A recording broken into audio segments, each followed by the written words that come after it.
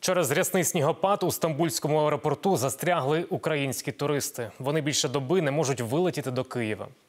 Частину рейсів аеропорт уже відновив, але не до України. Коли додому відправлять українців, наразі жодної інформації. Ночували хто де, хто хто на землі, хто сидячи, хто взагалі не спав. Немає де прийняти душ, немає де переодягнутися. У більшості багаж в багажному відділенні. Неможливо навіть було достати якісь там речі, щоб просто переодітися.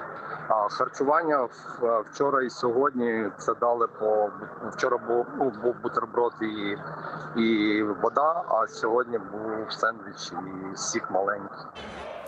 У ситуацію, зрештою, втрутились дипломати із українського консульства в Стамбулі. Вони провели переговори із авіалініями, щоб ті заселили пасажирів до готелів, доки не відновлять повноцінної роботи литовища.